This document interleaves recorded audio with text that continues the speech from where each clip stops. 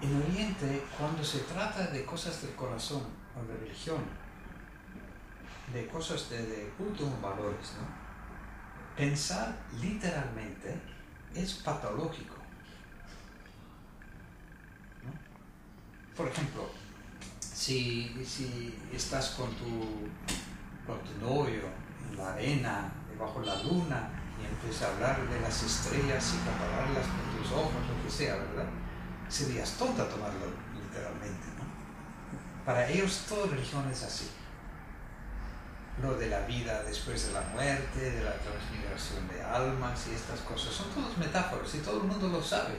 Entonces no existe la desmitificación en Oriente, porque entienden que mito es mito.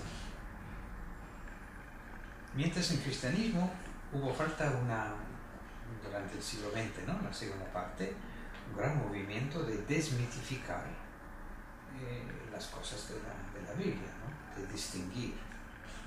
Y hasta el momento todavía no hemos pasado. O sea, para nosotros un hecho histórico es más importante que un símbolo.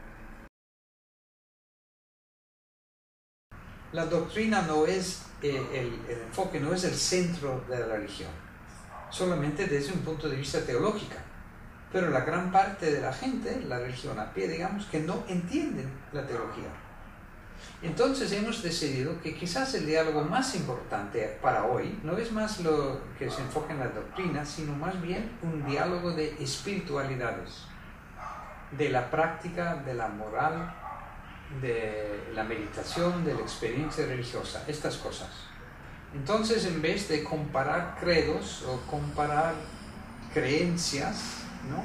y, la fe o escrituras sagradas, quizás tenemos que comparar actitudes eh, éticas.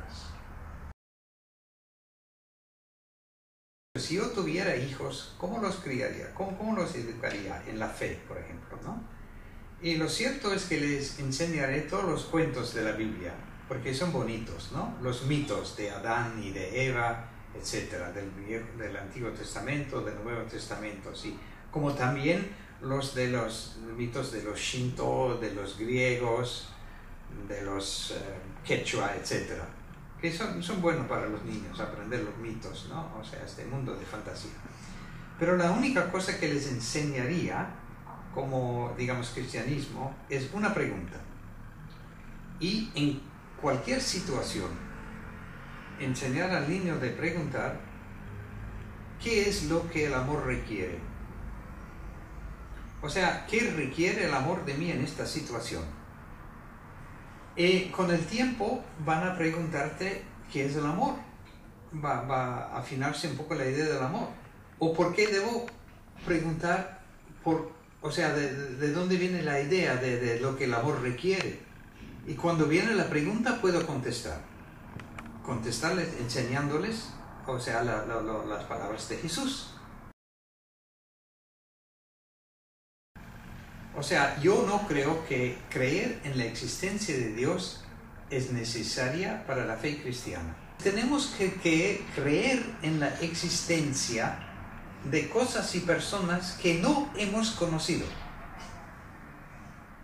Lo más importante, la base de religión, es la experiencia de Dios, no creer en la existencia de algo que no podemos experimentar.